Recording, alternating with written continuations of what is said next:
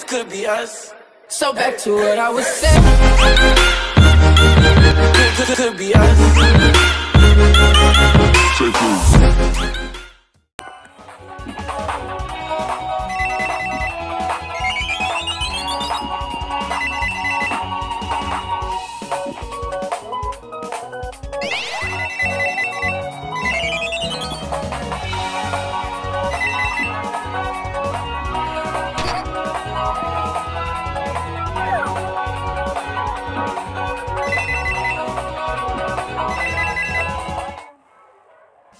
Hey.